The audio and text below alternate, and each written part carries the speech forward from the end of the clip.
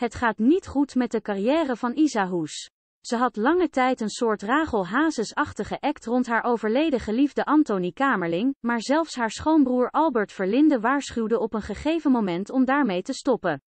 Dat deed ze. En wat blijft er dan over? Een lege huls. Een doorgespoelde lege huls.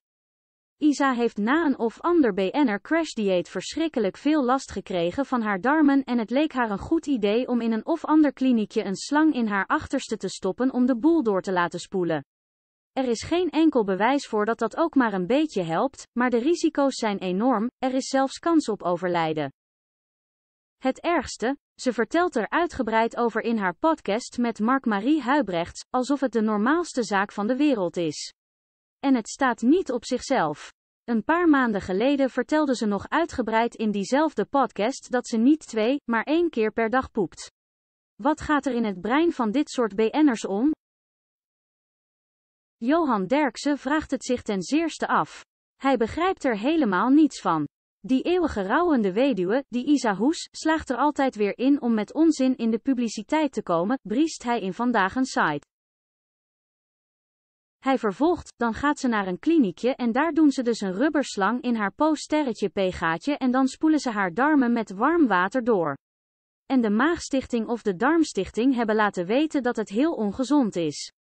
Daar kun je van alles van krijgen.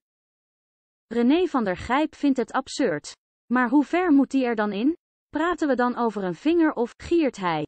En over Isa's co-host Mark-Marie Huibrechts, die kleine piepkuiken doet iedere avond een darmspoeling. Ha ha ha ha ha. Johan cynisch, René, dit is een serieus onderwerp, want het effect is niet kinderachtig. Ze melden als effect dat de oude harde poep ook mee naar buiten komt.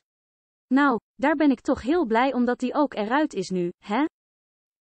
René, dat is wel lekker. Johan begrijpt echt niet wat zo'n Isa Hoes bezielt. Dat iemand zichzelf zo belangrijk vindt om dit soort non-nieuws naar buiten te brengen en dat er nog mensen zijn die dat noteren ook. Politiek verslaggever Sam Hagens, en dat het dan nog in dit programma zit. Johan, nou, inderdaad. Je kunt het doortrekken.